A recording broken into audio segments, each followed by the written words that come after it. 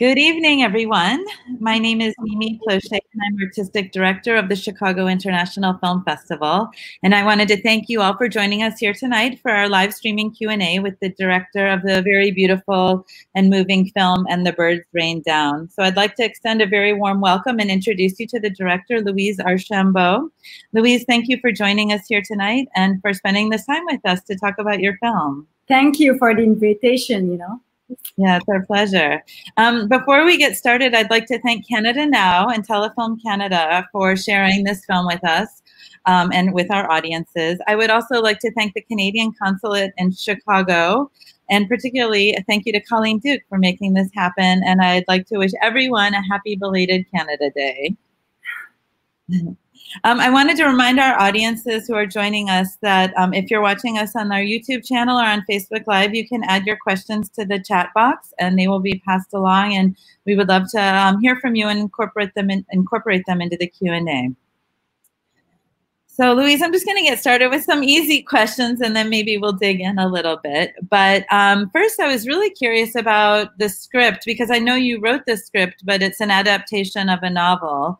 Um, and so um, one of the things that I loved is I think there's like two themes in the film, which um, one I think is more complicated than the other, but are very connected. And one is I feel like there's this question of kind of this life affirming story that's about kind of fierce independence and what does it mean to make your own choices in life and in death and not let decisions be made for you or if they have been made for you to overcome that and then, of course, at the heart, there's also the love story. Um, so I was wondering if you could talk about this question because it's about kind of making your life your own and things your own, how you went about the process of making the story your own for the film and mm. what was mm. involved in the adaptation process. It's a huge question.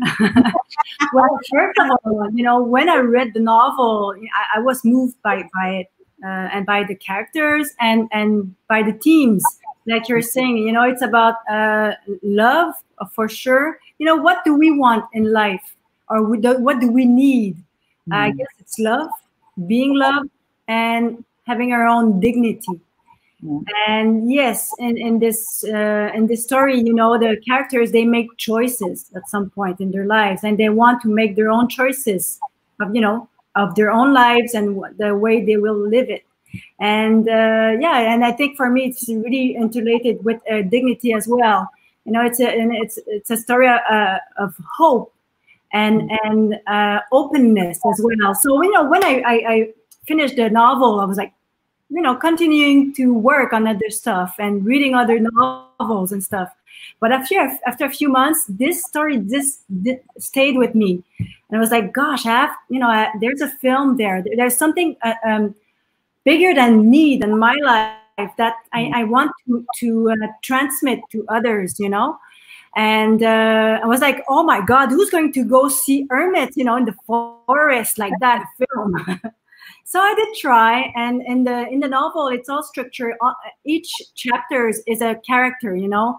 Okay. And one one chapter is like the forest and the fire forest, and one chapter is you know about Marie Desneiges, and then Tom, and then you know, and so on so I did um, mingle all that, and, and I did have conversations as well with the, the author, Jocelyne Saucier, you know, what did she want to say? Because I really wanted to be, she was my first uh, audience, right. of course. So to be true with the essence of it and what did it mean for me, you know, what did I wanted to, to translate with that? And I, I think it's that. It's about you know hope and openness. And i think more than ever in our lives in our lives if we can have that you know i, I don't want to send a message but just like to you know we we we, we extend an, a hand and just like i'm listening to you you know. Maybe i don't agree all the time but but maybe you know i want you to be happy with your life. Mm. so yeah were there things that were complicated that had to be um, left out either because of the restructuring and i want to come back to the structure in a second but or um, just because you had to condense the film into two hours or um, and then i guess were there things that you also thought you needed to bring in to kind of make the film? Because i think one of the things you succeed that a lot in which a lot of adaptations often don't is making it feel very cinematographic so well, yeah, I, I, when I was reading, writing it, it was quite strange. You know, it's the first time it did happen to me. I was uh, smelling, you know, it smelled the, the, the wood, the forest, the moss, you know. I was like, gosh, I, I really uh, dove into that world. And uh, yeah, so for sure, there's always like, you cannot go as easily, if, especially if you don't have a voiceover in a film, you cannot go as easily in someone in the into a character's mind. So it has to be, uh, it has to evoke, and um, and yes, the the the and what's helpful with uh, the film and images is like an image can tell a lot. Like in the novel, the the forest is a character by itself and so we did find that I think it's a great forest where, where we shot. It was really um, raw, you know, nothing, no electricity, no running water. Uh, my actors were, oh my God, amazing. and, um, and, but there are some other things I did add because each of the characters, they have their path.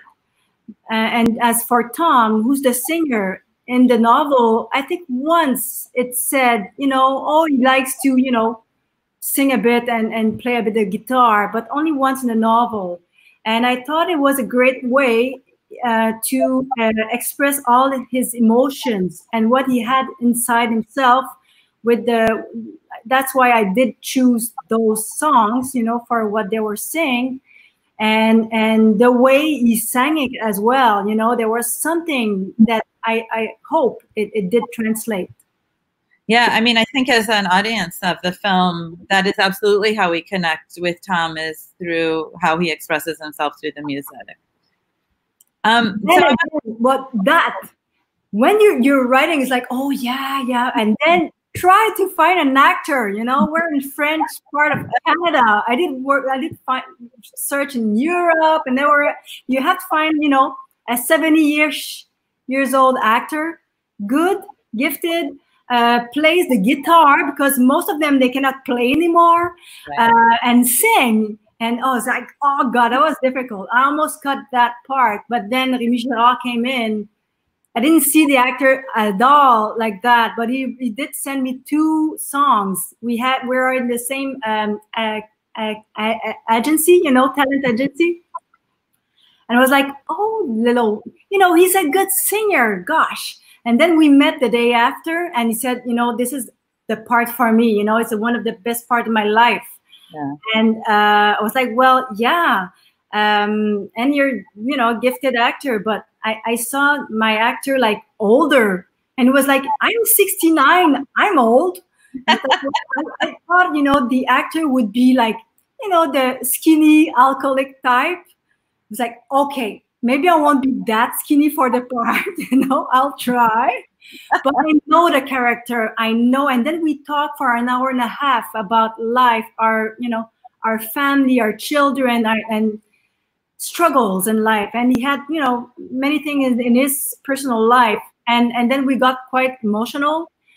And then i said remy you know all that. You're you know what you're feeling. That's what i want in the character that's a part of you you know it's difficult to go there and he said i will do everything and he was so generous yeah i mean i did want to talk about the casting because i think that all of them are um, amazing. But um, I mean, obviously Remy playing Tom, and I think Andrée, she's just perfect. And I was so sad to learn that she passed away last year.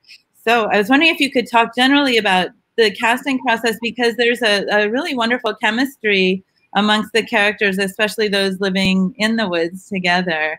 Um, and just both casting and then what kind of that chemistry or what that atmosphere on set was like. As you said, you were in the woods you know, off the grid, um, and what that was like working with them. They have such a great range of um, talent and experience that they're bringing um, to the film, to the roles. Yeah, it was quite uh, particular. Well, when I, when I was writing, I, I had Andrée Lachapelle in mind, and you know, each you know, I was each six months she would say, you know, I don't know if I'll be there in six months. You know, it was like, and she didn't want to play anymore because you know she got older and and uh, she lost her partner who was a filmmaker, very gifted uh, filmmaker uh, of cancer, and she was like the caregiver. How do you say that? You know, and yeah. she was exhausted and a bit depressed, and and then when I did offer her the part, it was one of her favorite novels in the last years. You know, a few years, and she would um, give uh, as present to her friends that novel, and she was like, "I have to do that part. I need to do, you know, this part." And and you know, she got back, you know, and we got her in shape and but it was quite special you know at 87 years old to be there and you know to do um you know the four wheelers like in the forest and fishing hunting and stuff. She was amazing. And we would sleep in the forest. It was so uncomfortable you know where we had like a, a small dorms. It was like a mixture be- between uh, prison and monastery. uh you know, we do pee pee in the like yogurt, you know, pot, you know, next to our beds. So she was such a trooper. Yeah. And uh, and at, at, you know in the middle of the shoot, and we had only 26 days. We so it was quite uh, intense. Right. And she said, and she she she really was one of the most amazing women or human I, I met in my life. You know, so generous and and um, just in French we say bienveillant. You know, take care of others, whatever the, the other person. You know, there's no rank or anything. And um, at some point, she told the, like the crew, um, "This shoot makes me live again." And so that made it, you know. And then she passed away last fall. Actually, what's quite um, moving is she did ask for. Uh, she she got sick and she got cancer, and she was tired and she was 88 years old and she asked and and didn't know. She didn't tell me. Um, she asked for help to to go away. You know, how do you say that in English? Yeah, euthanasia for um to be euthanized for euthanasia. Yeah. Well, there's in French we have a in French it's quite elegant. It's like aid, uh, help to pass away. You know. Okay. To move and on. Yeah. Her her family told me that you know she had a smile and and she was with she was with her wool socks the last day and with whole her whole family and little children and just you know, saying, you know, singing and just being there and loving and, you know, it's difficult because it's someone I really would like to have uh, some more conversations, but I know she she made her choice, like right. in the film. So it's quite moving. And as for uh, Gilbert Sicotte, who plays Charlie, he's younger than the part, but I saw him on other things, other films, and she, he's an amazing actor, and and they he, they know uh, themselves well, you know, Andrée and Hubert. And Andrée, you know, she realized it was difficult on set to remember lines and stuff, and never in her life she had difficulty to remember lines, so it was quite scary. So I was like, you know, Andrée, we'll go day by day, you know, and we'll find tricks. But right. Gilbert was so generous because he's, you know, just put his ego uh, outside there, you know, and just be, he, he was there for her. So it, it did create in that forest just like a bonding, you know. And yes, we're making a film, but that's not the important thing. It was what we, we what we were experiencing at that moment. And Andrée, it was it's quite amazing. It was, you know, she made many films, and um, you know, she had a big career. It was the first time she would she did make love on screen, so that was something. well, it's interesting, kind of that care that you're saying that um, that he demonstrated toward her, and that chemistry that they developed on set, as actors, as humans, you, absolutely see that coming through in the film. So in the characters. So mm -hmm. I have a question since we're talking about cast that's coming from an audience member and said how much it's from Chad Rubel, how much he really enjoyed the film and what a big fan he is of Remy and thinks he's a great choice for Tom. But he also says he loves the connections that the characters have with the dogs. And was there anything special that you did in terms of working with the dogs? Because they do play such an important in the, yeah. the of you know, those. When you're writing, you're like, okay, each of them they have dogs, so they have there's four dogs and when you're shooting and you have 26 days, we're like, what did I think of? Four dogs. But they were amazing. At some point, like one of the dog, who's uh, Boychuk's dog, he, you know, he passes away at the beginning of the film. But we have that scene. It's a very small scene, and you have that character Charlie, who's going into um, Boychuk's cabin, yeah. and he passed away.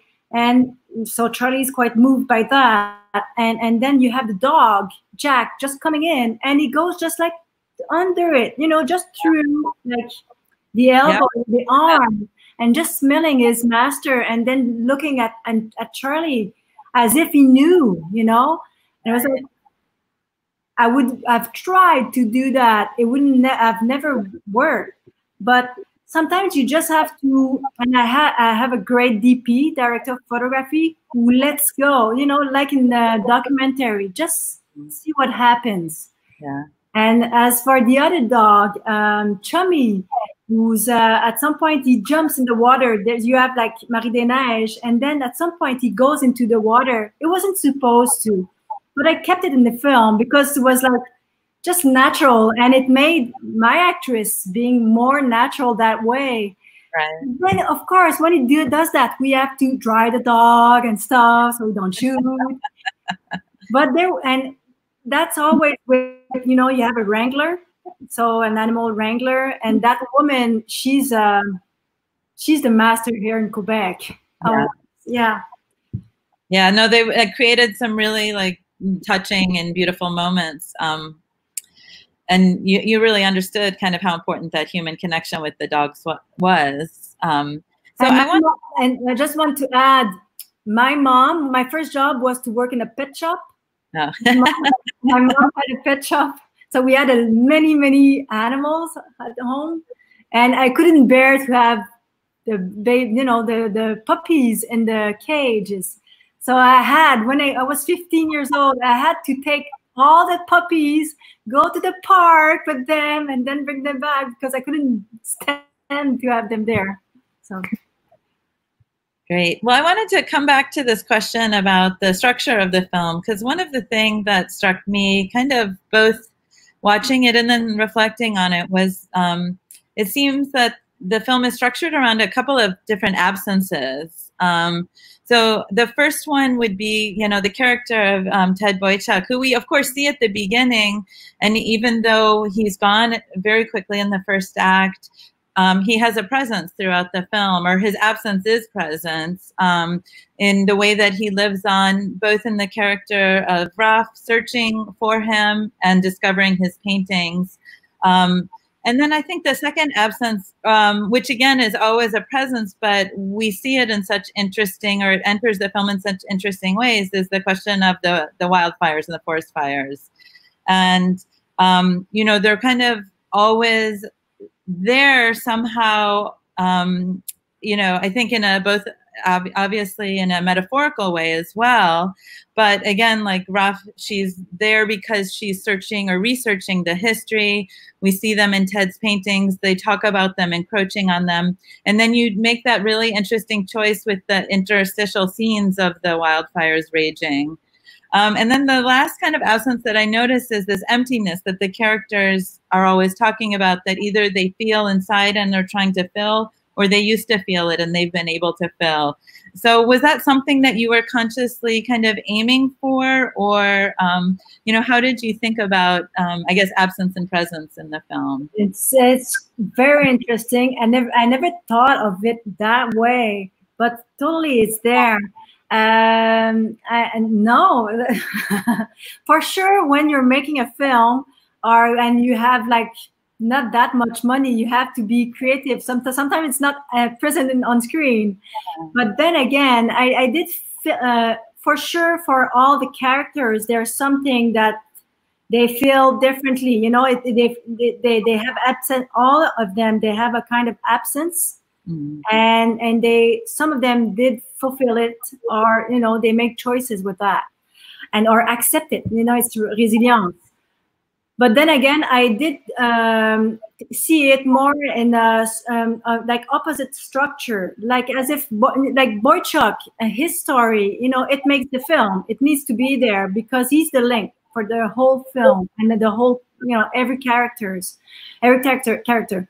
But his story is like he didn't. He, he had a tragedy in his life. He lost his whole family when he was 15 he saw them dead because of a fire forest. So it's like like ignited uh, in uh, starting in come on so uh, element you know?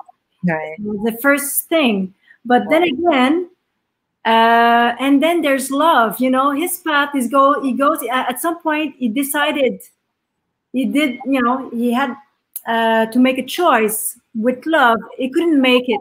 Maybe because he couldn't love anymore. He didn't know how. So he did make a choice to uh, go and live remoted, you know. Right. But he got hunted in, and he always did paint his past. And then the opposite path is Marie des Neiges, Gertrude. Uh, um, she got removed from the society and her own choices at 16 years old and then at 80, past 80 years old, uh, she discovers life and maybe love as well. So it's opposite path and choices as well.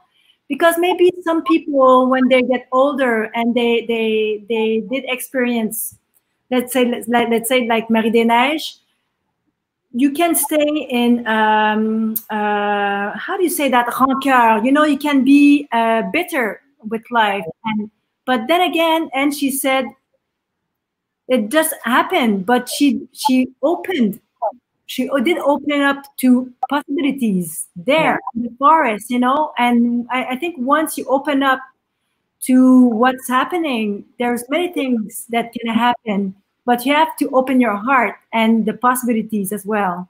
So that's what I saw. And then as for the fire forest, you have the present moment and the past for sure, the fire forest, uh, there's something about, I think, humility uh, of us humans in, in, in this on this planet. There's something about we forget to be humble about what we have, and it, you know, it's it's such a, a treasure, and we have to cherish it. and and there's uh, as well, it's a um, metaphor for a love as well Right. You know?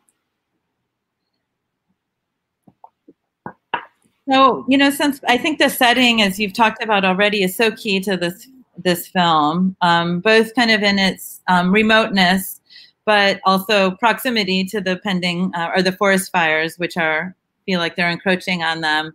And of course, it's this incredibly like gorgeous, sumptuous location that's just filled with life. So I was wondering if you could talk, you know, about location shouting and choosing to shoot off the grid, which is of course, like you said, you were on a low budget and you had a very limited time frame, and what the challenges were with that. But also, you know, working with an incredibly talented cinematographer who's able to, I think, you know, really capture the essence of the place and its role in the story. Yeah, well, uh, I think uh, for every film, and especially that one, uh, to find the right location, uh, it, it's the essence of it. You know, it's the basic thing because it helps. Uh, it helps the cinematography. It helps the actors. It helps me for a mise en scène.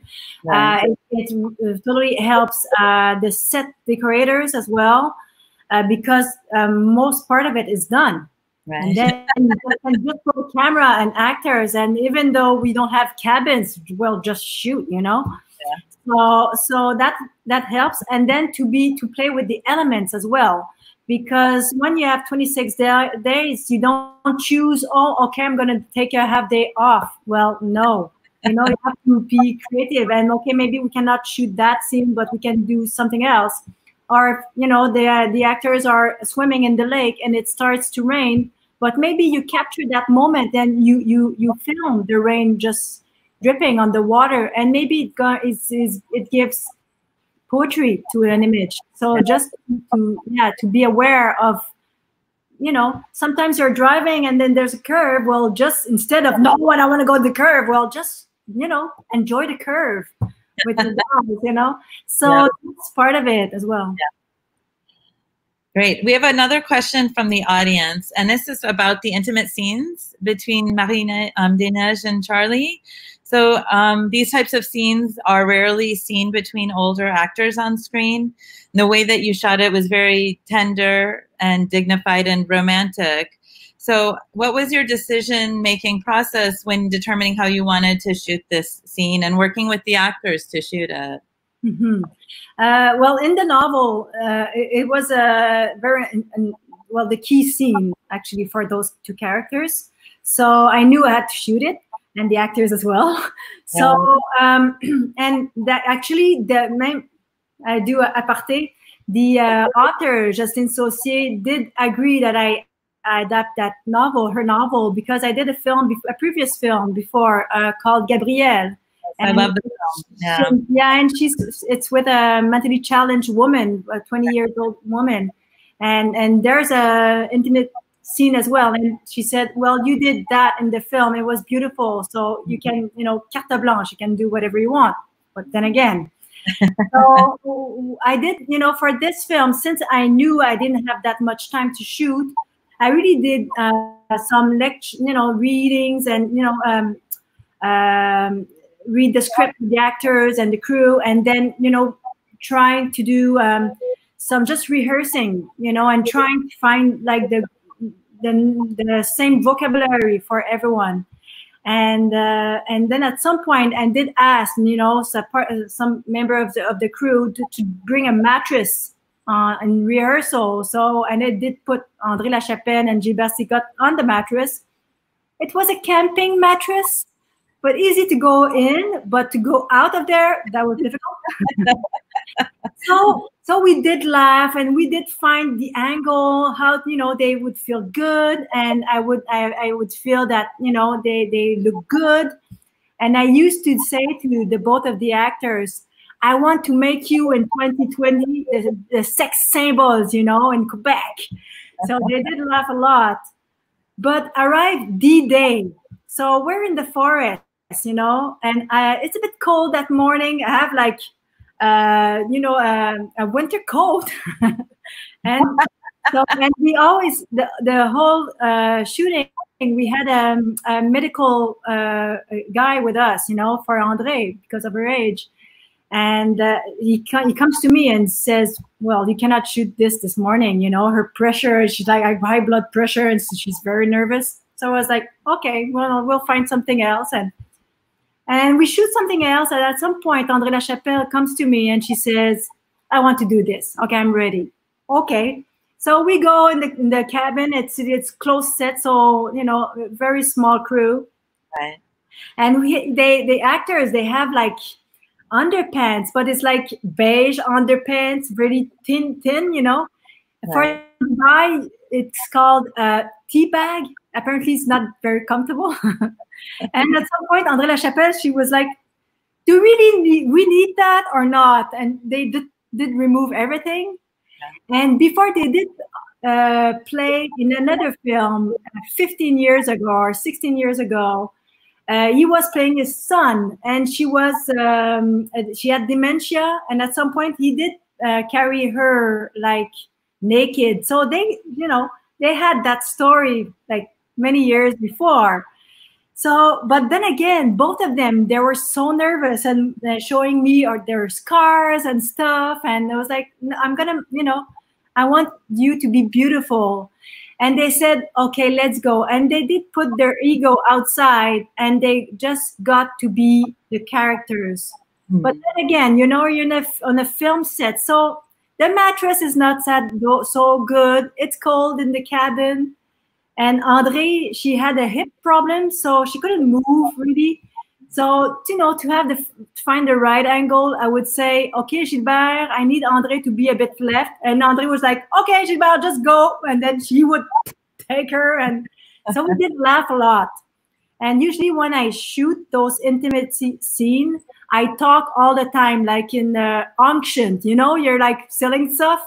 So I'm like, okay, Gilbert, Gilbert, uh, put your left arm. No, no, the other left, the other left. Okay, go smooth, smooth, smooth. Okay, okay, nice caress. Okay, Andrée, kiss. So Gilbert, kiss more slowly, or better kiss, better kiss. Okay, and then okay, remove the sheet. Oh, slower, slower. Okay, go.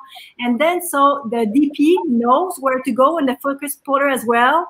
Right. And it's like a ballet.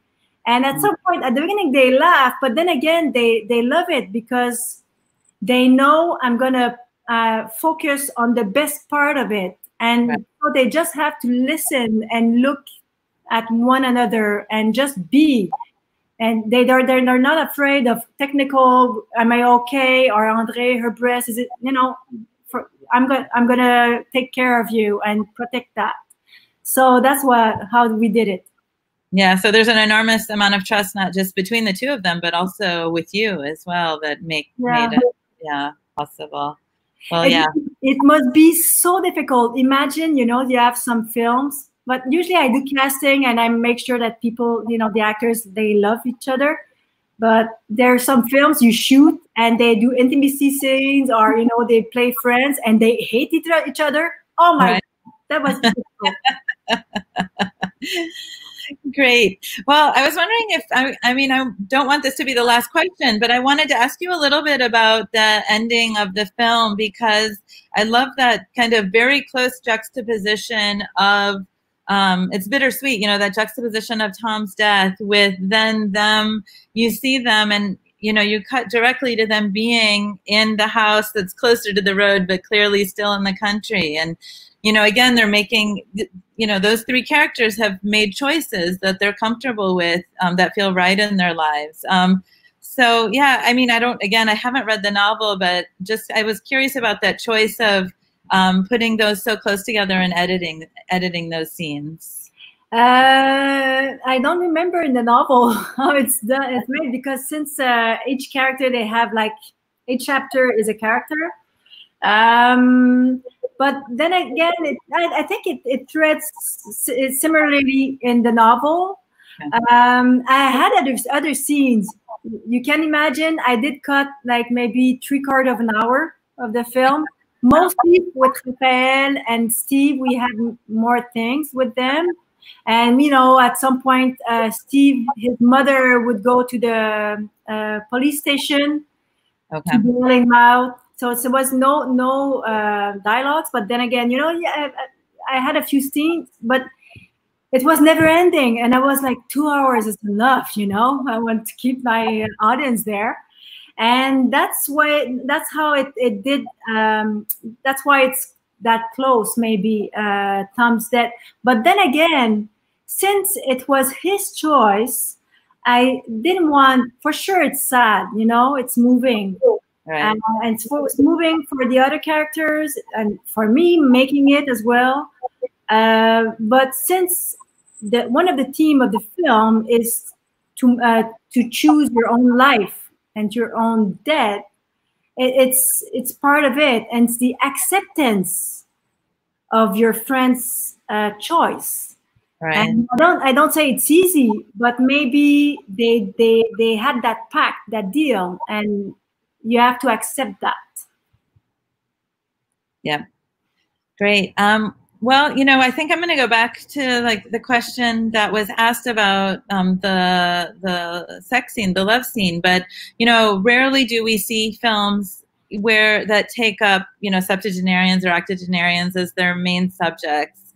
Um, but you do it in such a thoughtful and also i think thought-provoking way that it compels us as an audience to also think about kind of what our own life choices are. And maybe especially now it's resonating in this time of the pandemic where you know i think our lives are are we're seeing them or they're reflected in a different way and thinking about how we make life choices. So wondering if you could talk a bit about the response um, in Canada in Quebec to the film. Um, and what audiences have been giving back to you and once they see it. Well, uh, before answering to you, I just you know while I was writing the film, I didn't. Uh, well, for sure, I knew my act, my characters were like 80ish years old, you know, 70s, 80 years. But what I was writing, I, I, I never thought, oh, it's about uh, the old age, or it was like those characters that they had that path, you know, their those lives, and and they were there in their lives.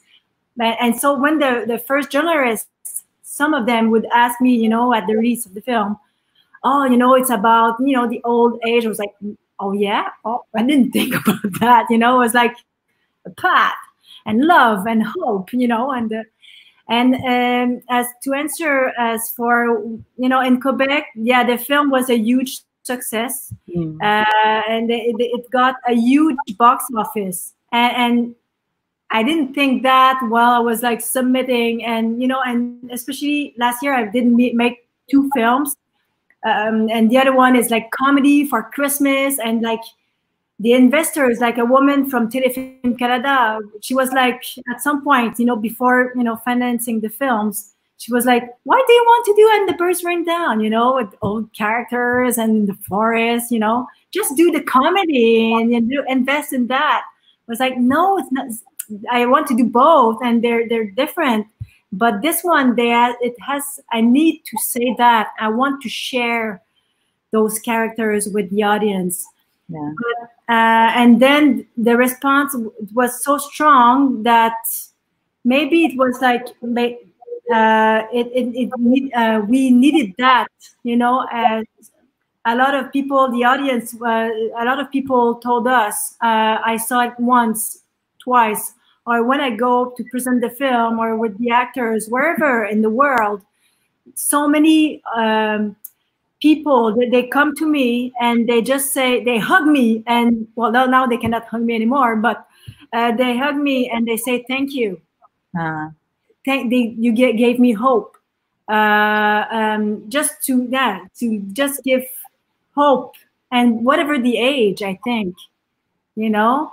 So yeah that's a it's a good thing Yeah, and the next question actually relates to this, and it's someone who first saw the film um, at TIFF, and she said, or I don't know if it's this year, he they said that um, you know when they saw it with that audience, it brought so many people to tears, and like you're saying, it just resonated with audiences of all ages and backgrounds, and um, for for you and I'm you know of course I think we can all speak to like our own experience of what resonates but have you gotten other feedback about what you think makes the film so powerful or resonate with so many different audiences? I think you kind of just answered it saying like it's a film that's ultimately um, hopeful and and and filled with this idea that we can you know be masters of our own destiny or make choices that are you know suited to us but is there anything else that you'd like to add about that uh, I think, yeah, well, well to uh, go back to the essence of life, I think uh, the forest, it makes just the, the forest it by itself, it makes that. And uh, not playing games. You are what you are. Yeah. And, and, uh, and you know, um, me too, you know, I have bad days, I have bad months. And what do you do then to, to go back and to, and sometimes it's just, instead of looking like that you just like and someone's looking at you and smiles. And it's like okay that's yeah. happening now. What do you do with that? Do, right. do, you run away or just like i know i come to chat with that person and gonna propose me to go elsewhere. There's that and then to accept uh, the differences you know, because those are characters, they they're quite outcast, I think, and and it's okay to be. And sometimes you you you you don't look outcast, or you live in the city, and but you feel outcast. How come? You know, and it's not only a bad thing, maybe. You know, it's just the way it is. So right. yeah, so I think there's many layers, and I think, like I was saying before, the first thing I, th- I think it's about love, being loved, and having your own dignity. Right. And yeah. Great. And we did get one more question here about the location, and particularly, how did you find it? I have the best location manager. That's why, you know, she's a photographer. She d- does uh, my on my films, and and then she was stubborn. She really wanted to go in that forest far away. It was like really, and then and then uh, because it was difficult to find many places we couldn't. Uh, uh, cut down the trees or make up cabins or you know or it was summer and you know people wanted to have their vacations and stuff or you had like planes and everything so we found that place but to match that to find like um, the, be- the best uh, little hotel we didn't find any in that region you know so we did find it like four hours ago for, from there so we shot a week there and we shot maybe three and a half weeks in, in the forest and then for the the the bar scenes and the um, what with the um, uh, the other house of uh, Geneviève and stuff. Right. shoot in Thetford Mines. So that's another part. You know, it's far, but my uh, location manager saw in her mind the puzzle that would make a whole.